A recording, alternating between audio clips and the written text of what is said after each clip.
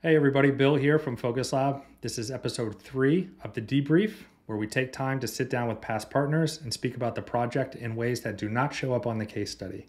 So, today I'm speaking with two amazing people, Sarah Kennedy Ellis and Sergio Claudio. They were both critical team members in the Marketo rebrand.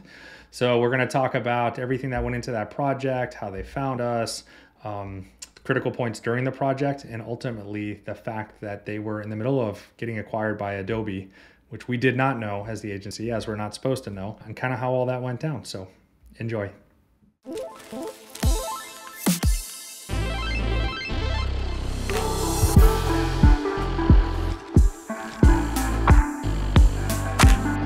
back at it. We're getting the gang back together. Marketo, we're going to rehuddle here. We're going to talk about the project. I took some notes before this. And September 20th, 2018, that was the day the Adobe news dropped. That's ah. when that's when it hit the air and we're like, wow, okay.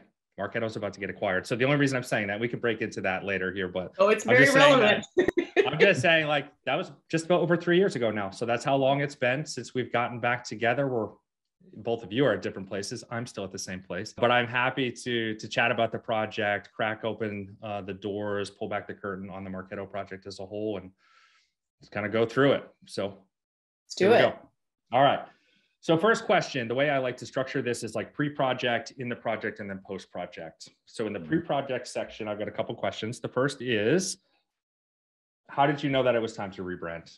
What were the key indicators that you're like, wow, we really need to think about this and actually do it? You know, I think, and uh, Serge, I don't even remember. You may, if I talked to you about this during even your interview, but I, so it was a big part, honestly, of not why I was brought in, but uh, it was one of the elements of that. Like the the whole company was going through this. Let's call it an upgrade. Let's call it a growing up or a maturation of the business, where we had been really successful in SMB and we're starting to break a little bit more into the upper SMB space. And then we're really now starting to see the first, second, third, fourth, fifth, 20th enterprise customer come to light. But we were still struggling with conversations around security, with stability, like all the things that come with being a, a SaaS company that's actually trying to mature and grow up market. And so part of that, whenever Steve was interviewing me, was like, got to rebrand, we've got to, and then he would list 18 other things, right, that we've got to go do. but it was known to me, I think it was one of my first things that I was like, I've got to find our, our agency we're going to partner with. So it was out of the gate. We knew that, you know, there's a lot of love associated with the Marketo brand, but we would joke a lot of times. It's sort of like, it just felt more I don't want to say cartoonish, but it kind of was like it was sort of intended to be a bit more accessible in that regard. And the design and sort of the rounded edges and kind of how that all came to be, it just sort of all, and with like the marquee mascot that we had, yeah. all those things that were really fun and a cool part. I mean, we that lived on for sure, but how we thought about that and how we were going to really convey within the identity within the mark itself, even in the font we used going forward, like what stability, security, uh, and that core really is that people can rely on that was that was a big part of what we were trying to do in our sales motion as well as with our brand. So it was sort of like project day zero for both serge when i hired him and, and myself when uh, steve hired me. So but serge do you remember like? Yeah yeah. I mean it was really exciting. I think we did. We spoke about it during the interview. Okay. You know and you were still just brand new and yeah, like day zero. yeah, it was day zero, and we were talking about we were talking about agencies, partners, design aesthetic, how you were a, a Dribbble nerd and a font nerd, you know, and and and and that's how Focus Lab had come up, right? Yeah. And I, this the the for me it was really exciting to be able to join in on that journey right? Where it was like, you know, high momentum, high growth enterprise uh, software company, you know, ready to take its step into its next chapter. And the belief was that it was going to be through creativity, right? And so all of that work around the brand, right? You know, Sarah, as you mentioned, uh, the foundation that was being laid with the new leadership and the new, you know, infrastructure and the go-to-market motion and you know moving up market into the enterprise and and to to have the belief from yourself and from Steve and the CEO and everybody that uh, you know creativity was going to be it was going to open the door to the next chapter of the company was yeah. really exciting. Yes, I, I just took a note there, which was day zero, because that stands out to me, meaning it was really it was really nice and almost like invigorating in a way that when we w- were engaged then into the project, you all found us and selected us, that you were all new as well, newish, yeah. right? Like I don't know how new, but seemingly pretty new. There was like a new wave of energy and faces in that company, and we were able to then come in and kind of like bolt onto that energy as some as opposed to sometimes it's like it's still the old guard. Doesn't mean the old guard's bad, but there's something to be gained off of that new energy. No, uh, for so sure. That was clear. Marketing was actually the last team that would was uh, I would call it evolved inside of Marketo, and I was the last hire on the leadership team. So Steve had obviously gotten you know CFO in place, a, a new head of sales, all of those things, and then himself was the CMO for a year, which is part of what I'm sure we'll get to in our discussion, which made this project especially fun for a first time brand new CMO myself working with a CEO who had his own really strong opinion, obviously, about, about the, the identity of the company, which is great, but also made me super nervous because I had never gone through that process with him before to know how to coach y'all along the way. We were sort of learning together, which was probably fun with air quotes around it at certain points in time. yeah. I mean, these they're all a journey. Each one yeah. is unique, right? Like we're all you know, maybe the analogy is like we're always on a train, but the train sometimes the train is going up a hill, sometimes the train's going like speeding down a hill, sometimes it's like swerving all over the damn place. But we're always like we're on a train. We at least know right. what we're driving to some degree, but it's it's always unique. I got to say shout out to Steve if if and when he does see this. It's always really nice as well to have a CEO that's completely on board. Yeah, knows that it's necessary. By the by the end of that ready. process was in it. Yeah, like he was bought in right? Like totally bought in. So that that doesn't mean that's not a knock to the CEOs that are not bought in. It's just an extra cherry on the top that you know, like, okay, this train is actually going to be moving really well down this track because uh, that's another element you have to kind of navigate when when they're not. So well, really you don't quick, have to answer. Oh, go ahead, please, please. Just to come back to your point about the energy, I think you know Steve himself had such great energy and such great yes right? Yeah. The company was all starting to build that energy along with exactly. him, right? And you know, I think back to your question around how do we know it was the right time? It was because the the brand no longer matched the energy and the momentum that Amen. the company had. Love that. yeah, yeah, I can see that a thousand percent. You can see the energy that came out of the resulting rebrand, even though some people would say, right, well, it's still purple, it's a different purple. Well, it's still the bars, it's just different bars. But when you when you look at those things side by side, the energy factor. Oh yeah, absolutely and just the different. Like the move, the way that, that y'all are incorporated movement into the brands was, um, just it reflected the personality of the business, and it's also why we may talk about this too. But it's why there was an option that was it, for a time a really interesting one. I think we called it the bolt for a while. Yeah. Yes. that I mean, honestly, now in reflection and hindsight, thank God that wasn't the one we went with, but it was a really interesting bring us all the way to this other place. And then we came back to center after that. But I I actually it was one of those things where Steve's energy actually matched that, and I wanted to see how far he would take it. And then we, anyway, so that was a it was an interesting time because I actually knew he would really dig that, and he did. And it was kind of like this is telling us a whole lot about where we eventually landed. So anyway. yeah, when he was on at the point where he's like, I think this is the new logo. Even I was like, oh shit. Yeah. like that's a huge departure. Like I don't even know if I'm comfortable with that. It's an option. Right, we're like, this is no longer like, an evolution. right. We should we should talk about it. Like what's good about it. And maybe we can, like you said, like come back to center. So so still in this pre-project questioning, what were you looking for in a rebrand partner? So you don't have to now tell us all the things that Focus Lab is great at, but like when you were starting that adventure, like what were you looking for? So I think this is not going to be a great, robust, and rigorous answer for you. But as you'll both know, I think we've talked about this before, Bill. I was I would constantly go on to Dribbble, and it was it was for me. It wasn't an algo working on y'all's behalf. It was what kept standing out to me in terms of like B2B rebrands that were coming to life and some of the core elements of that. I kept not knowing it was y'all. I would be like, that's interesting when I would see, you know, see something and then I dig in. I'm like, that's that same agency. I'm like, let's focus. And so then I'd like it that would happen over a period of weeks where y'all just kept coming up. And so I had I had put you on a short list of, of agencies that I was interested in. Then I started digging in and I I kind of I love just the SCAD roots of the company and like the smallness of it in many ways that were kind of like that all coming together for me was like just perfect because that's the kind of partner I like working with is one that I, I felt like we're going to of course get attention and great partnership, but y'all had also done the outreach rebrand which had also stood out to me when I was looking across the Martech landscape, separate from like my Dribbble stalking, looking across the Martech landscape, they were the ones that had done probably the most interesting brand work out of anybody in in quite, you know, the last at least couple of years.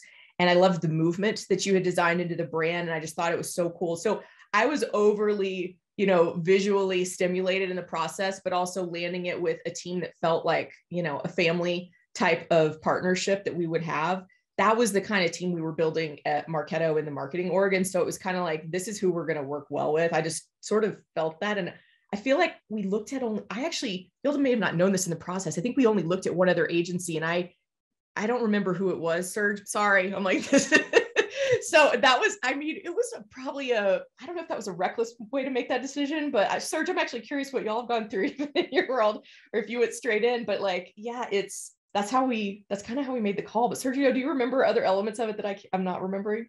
Well i had a very different perspective right?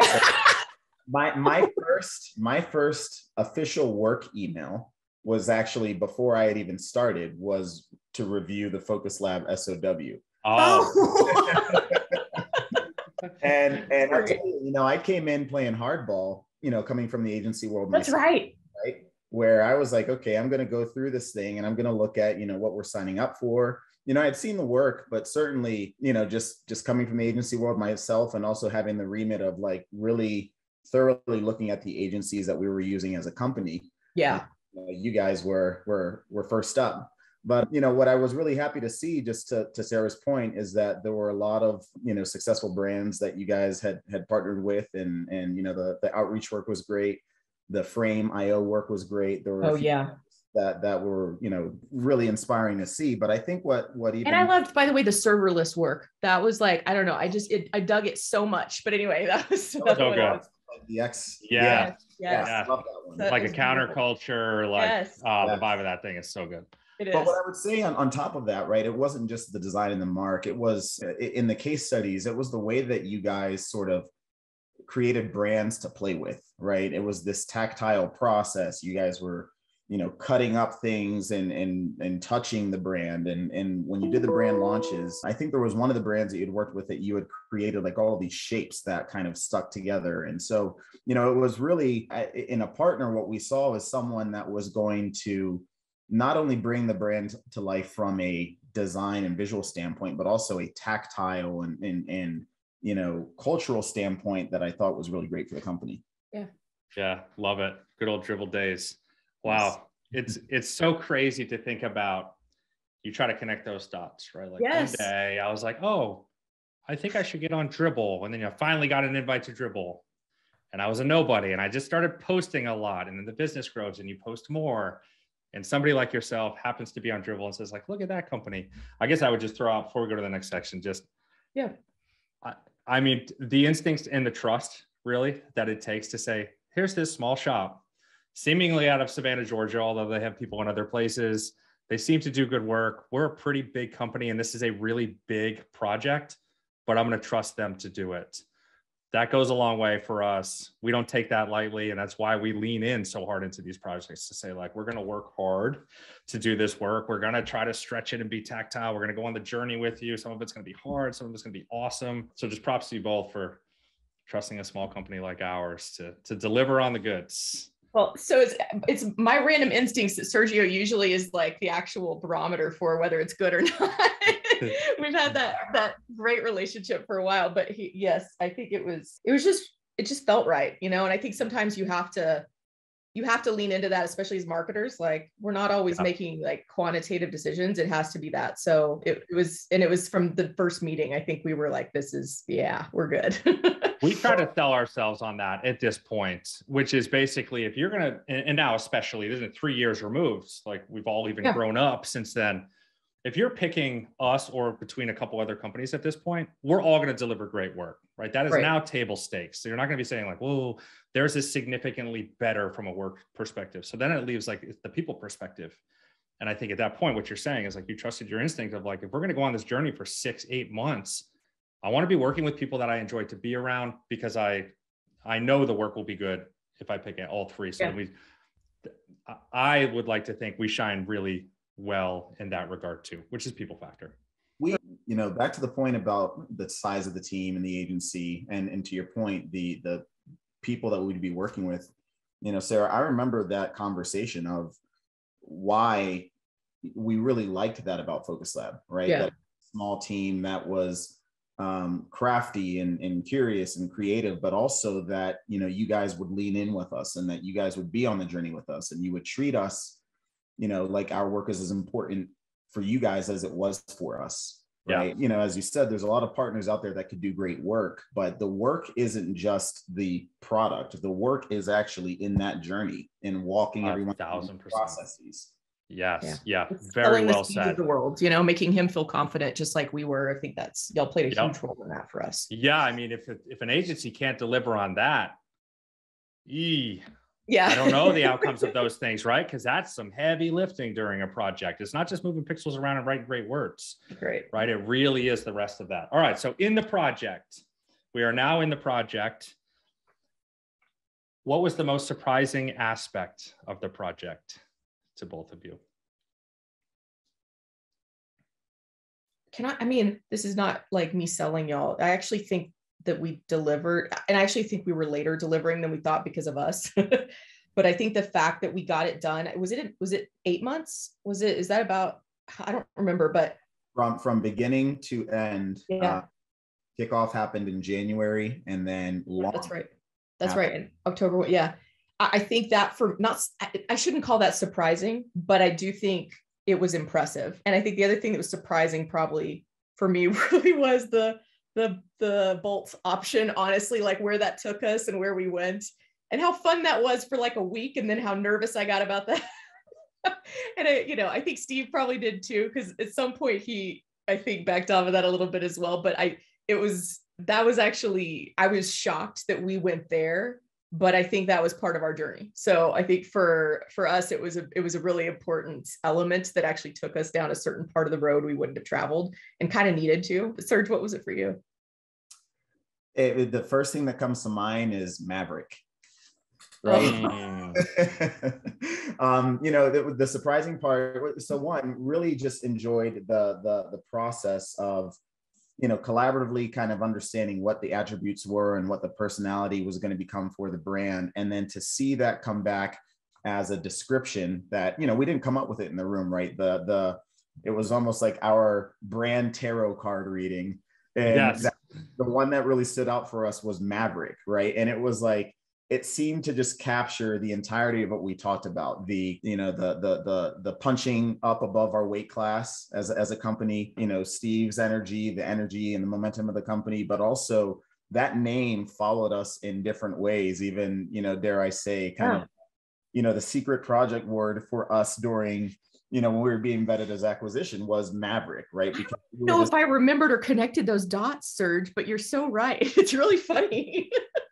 yeah so it was uh, you know it, it was like something that i didn't expect to see during the process that was just so telling for who we were as a team Love that. Yeah, you never know what nuggets are going to come out of those exercises in any given one of them over eight months, right? You can never guess that, oh, one of the archetype exercise cards is going to be a huge nugget or a random lightning bolt mark that is not going to be the final mark can actually take us on a journey to inform some more things to then re-inform where we ended up. i'm sorry Uh, just i wanted wild. to say i liked that so much i went and bought the book ah! Well done, sir. Well done. All right. So that's surprising. Some people are going to watch this and think it's surprising that a project can actually take eight months. But hey, big projects take a lot of time. They take a lot, I mean, a Um, lot longer than that in many cases, like especially one that impactful. Yeah. What was the most challenging part of the project? I don't know, there's maybe a couple. I, I don't, I will say this I was going through a lot as a first time CMO. And so there were so many things that sort of right before I had, so about five months in would have been a month, it have been four months into our project or three or four months into our project together. And I remember being in my kitchen in Dallas before we had moved. And like we were at this point where I could feel the indecision start to come in. So there's this like really peaks of excitement and we have a whole lot going on and then it starts to level off and it's like we have so much going on the team's also distracted so we weren't giving y'all as much time because we had all these other things happening and i started to get nervous because i was like i don't know if we if we had like an arbitrary de- or whatever but we knew i think fall was when we were headed toward at that point. And i don't know if steve had given me a deadline around that. I don't remember exactly. It was sort of that moment of oh no are we going to get there? Are we going to get stuck in the cycle of doom where we can't we can't get out of it? We can't have the light bulb moment that takes us back out. I think for me, that was just for like all the other things around it while also trying to manage all these other elements. And my first board meeting probably was right around that time. There's just so much going on that distracted me away from being able to be hands on. And Serge was great, like driving the process start to finish. But without me being available that much, I think I think there were probably challenges that came up from indecision just because I was feeling anxiety on other things. But Serge, I, I would that may not have certainly been the most challenging part for you. So, but Serge, yeah, what was the most challenging for you? Well, that, that was funny, right? I mean, it was just, uh, it was like we built up this campaign, this teaser, um, Marketober, right? So the entire month of September, we're promoting, and people were wondering, oh, what is it going to be? And then this news drops like 10 days before. We're like, oh, it's definitely not that. No, um, they, everybody thought it was the acquisition that we had been teasing. We're like, we would have never teased an acquisition. Like, that's not, so that was also, yeah. But the funny thing was, uh, so, so the hardest part, I would say, and and just hearing you speak it, it, it, this really was a, a, a, shared journey right? It was so fun to actually be in that same place where it was like you know i had started maybe a month or three weeks after you. You know we had all of these big opportunities coming up with summit and and and all of the other deliverables. I too was also moving to denver right? So it was like but i think the biggest thing for me was everyone wanted something immediately, right? I mean, we kicked off this project in January and Summit was in actually in April, right? And so April, that's right, it was. It was in April. Oh, so yeah. and then and then in the middle of the project, then you know, Steve was like, Oh, you know, what's going on with our website? You know, and so we've got to oh do it. And so, you know, it was this this moment where it's like the brand is in transition. We need to hurry up and get to a new design system for our product UI. We need to hurry up and get to a new design system for this website because it's outdated. And so trying to, you know, use my purple, you know, magic crystal ball to see where the brand was going to be heading and align everything to that moment was challenging but also really exciting, right? Because that that again, just back to the relationship as the team continued to explore and create new things, it kept giving us building blocks that we could introduce in different ways throughout the process.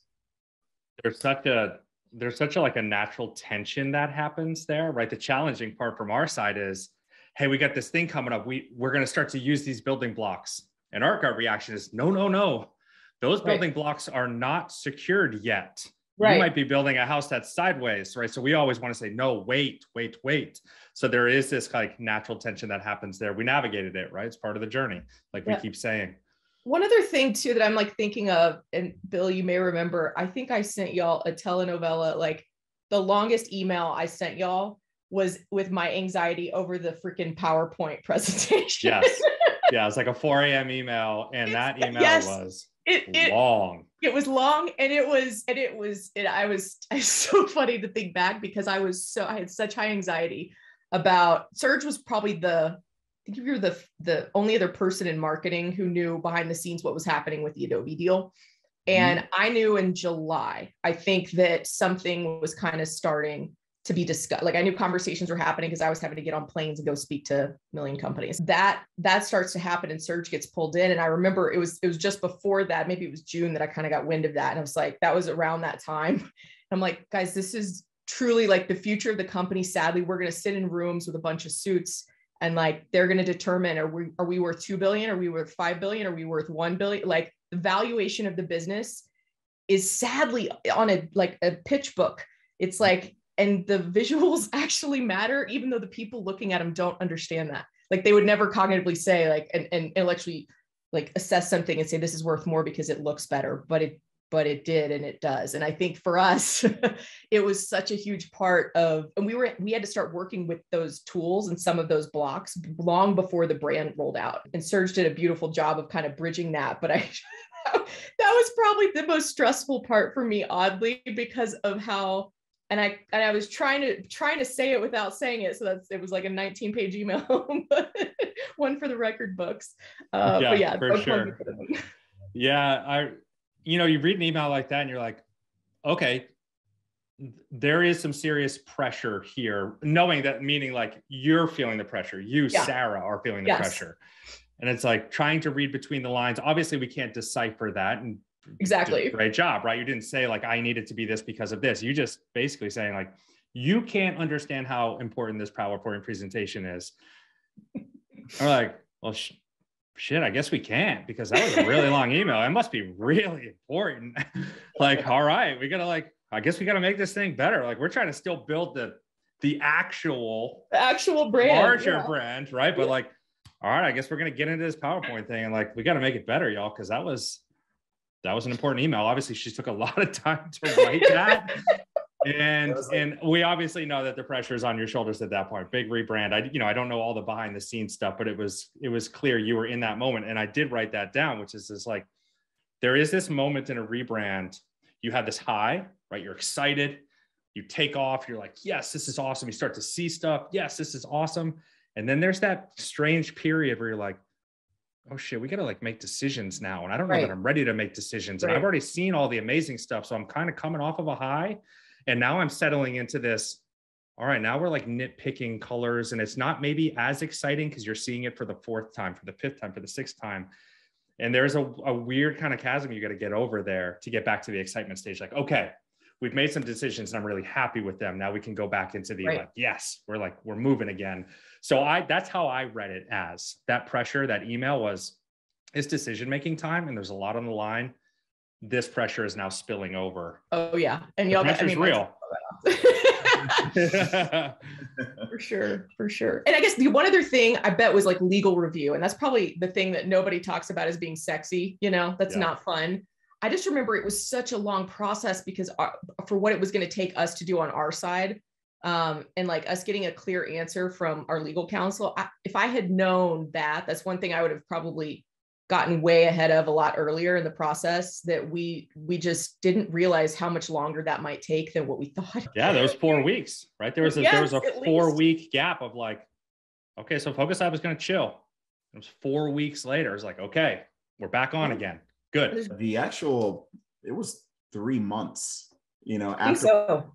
decision until we could actually do something with the mark, right? And, and I think that's the thing that I always bring up now for for anyone going through these types of efforts is you know get ahead of that legal process right i mean not for nothing there's a check in the box for companies that are comfortable with going with just a logo type just their name mm. they don't hmm. really it's a lot easier to say well it's my name and i can write it and i can swoop it just like other companies it's a name you can't take my name away when you get to the mark in a silo that's where you open up that giant can of worms yeah everybody wants a mark Everybody wants a logo. So here we go. We go on that journey over and over again. So next question.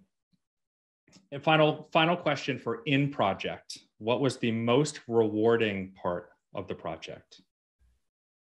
Oh man, I think what was most rewarding about the project was just how excited everyone was about the effort.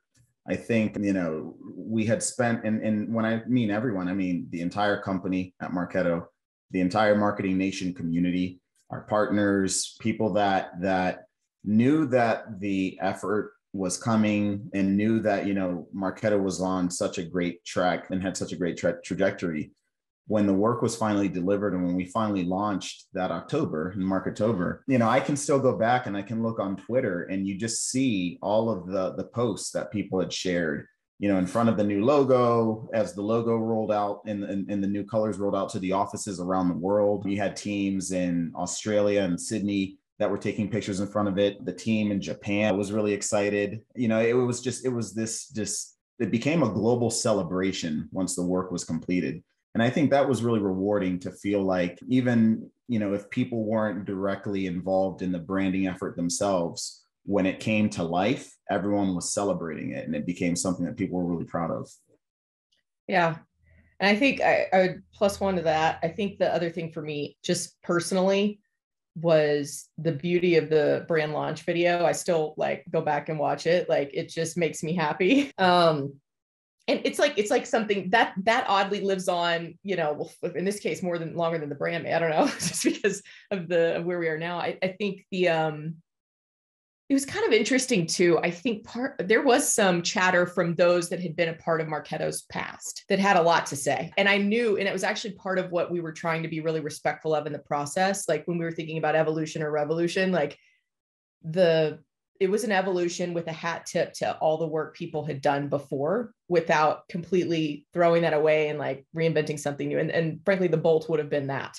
You know, I think we knew that, and that was part of why we came back. But I think I, there those that were a bit more neutral, I think in a good way, had a lot of I think positive things to say and understood that because we were re I mean I was it was very precious to me that we didn't go too far. And i think that was that was important but still so you're always going to have critics right? And they're oh, like bringing up sure. old logos from like 12 years prior saying like oh this is our very first and i'm like hey we were just hat tipping to the origins of the company i guess. Yeah. But it was it was really it felt something like we could be proud of and we could anchor on. And when you show your board something that they are like yeah that's really solid like your board i mean they've got a whole lot to say about a lot of things but i think that was really they understood the community. They actually understood what they had invested in in many ways and understood the importance and the preciousness of that. So i think everybody understanding that and rallying around something that was that evolution was really special to see Mm-hmm. I think the brand ended up walking the line really well. If you think about the core elements of the brand, if you want to dumb it down to a logo, it's very right. easy to bridge and connect the dots. But then if you go to the other side, you think about the, the event, rolling out the rollout video,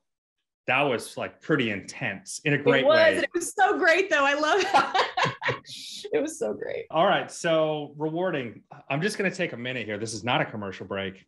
There's somebody we haven't mentioned yet that absolutely needs to be mentioned in this video, which is Marissa. Oh yeah. the amount of effort and wrangling and coordinated and, and, logistics and et cetera that she did during the project was epic. If she's watching, I'm sure she will watch. High five. She should. Marissa. We both, I'm sure Serge does also miss her. I miss her more than, you know, it's like, I can't wait to work with her one day again. That's for sure. A plus, right? And that's where I think we started to realize in these large projects the importance of the different roles on the team. Yeah. Right. And someone has to play that bridge role so that the other people can be like, I'm just going to be the creative brain and give you creative feedback, but I don't have to schedule meetings and organize feedback cycles and all this other stuff. I think that was the first time that we realized, like, oh, that's like a critical role. So critical for this and every other part of what we do. I mean, listen, yeah. she, without her, nothing happened. Like, literally, honest to God. and the and that's when you know that person is priceless when your leadership team all knows they couldn't survive without them, just like I couldn't. I mean, it's it's equal in that regard. And I think, yeah, she was the one that made this project actually. I guess maybe I shouldn't be surprised that it got delivered when it did, because I I mean, Marissa was a huge part of that. Someone's gonna keep it on the rails.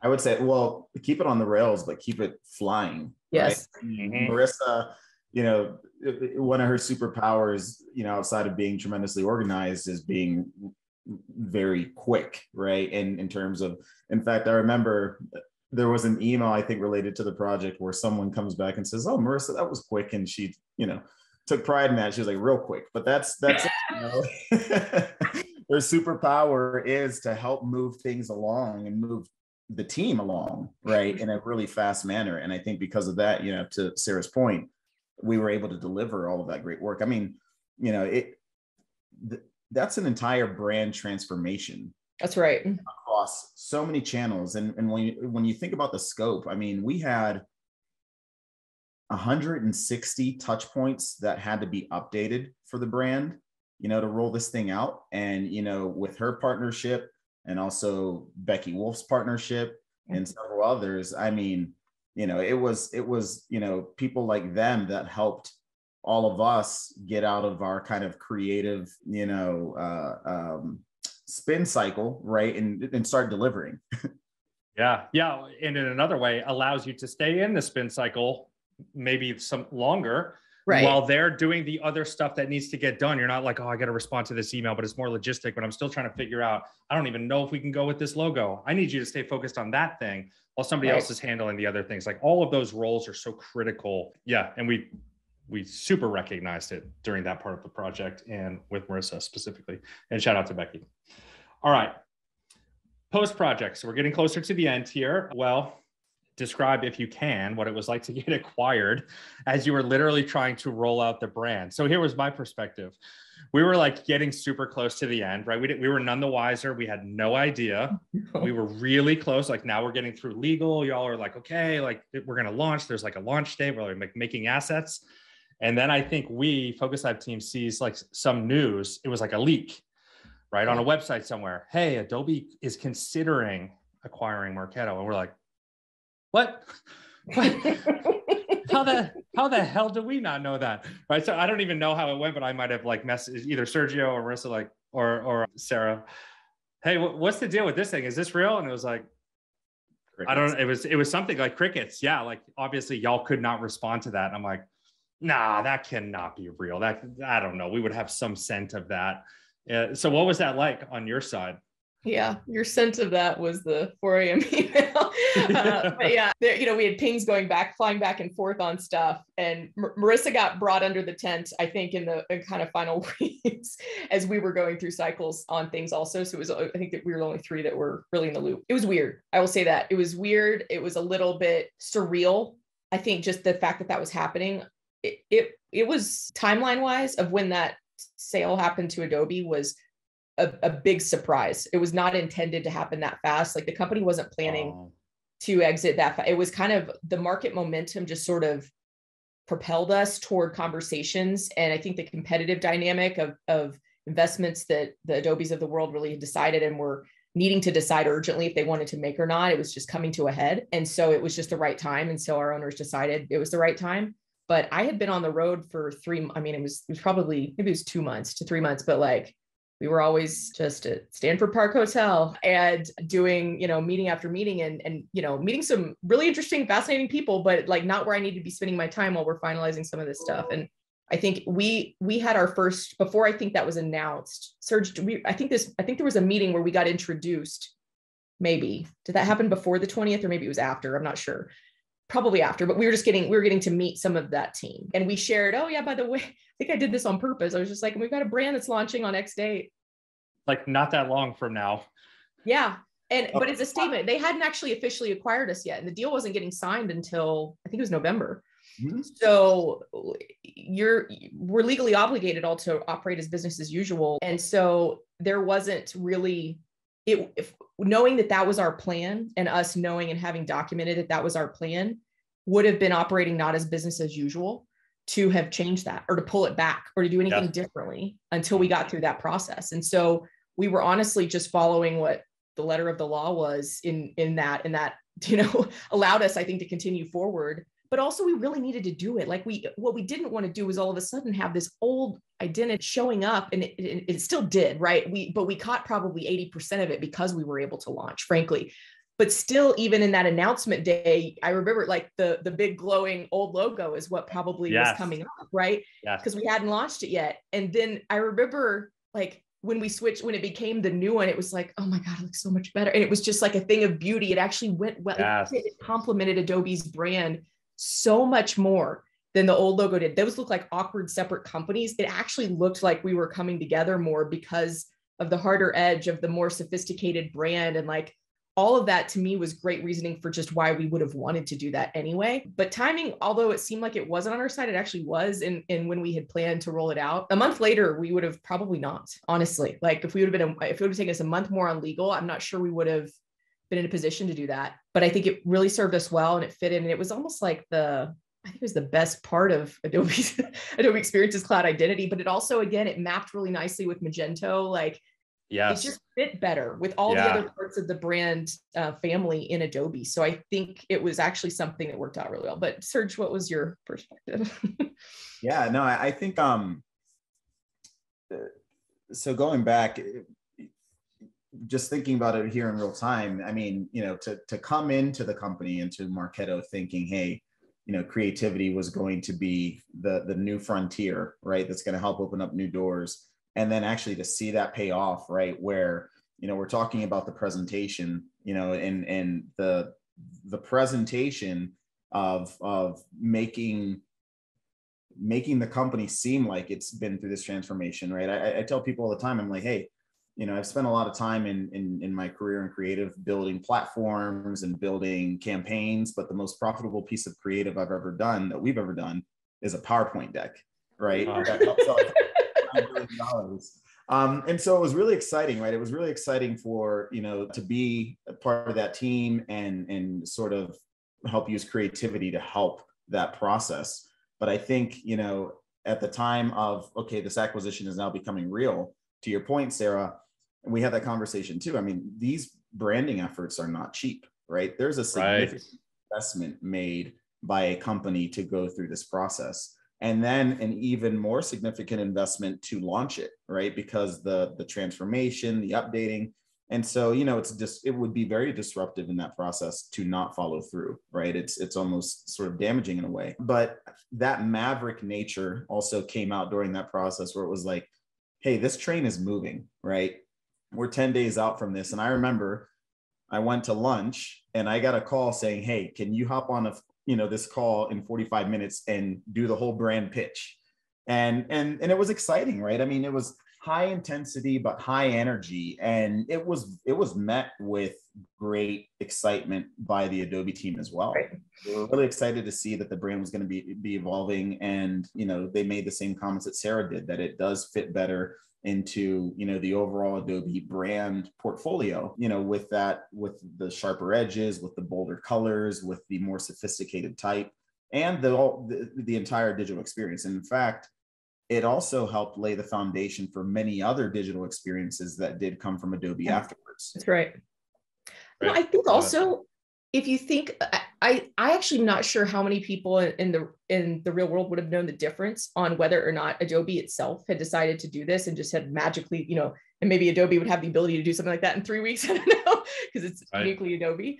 But that a lot of people thought that rebrand was actually a part of the acquisition. It was just kind of a funny thing, like that they were they were doing that just to like streamline it in, and it again it fits so beautifully. We didn't we didn't know it. None of us planned for that and it just did. And so i think that was that was really cool to see and, and be a part of. But we were those first that first week we were nervous and i was more nervous to have to tell sergio i'm nervous yeah. about no no fear. Yeah right. it's like that was wild for us to experience because we're on you know we're there to support you ultimately and we're servicing you in whatever way we can. But there's one part of us that are like I don't know, is this whole entire thing just going to get backed up into like a ditch and just going to like just get thrown over a cliff there because they don't they don't need it anymore.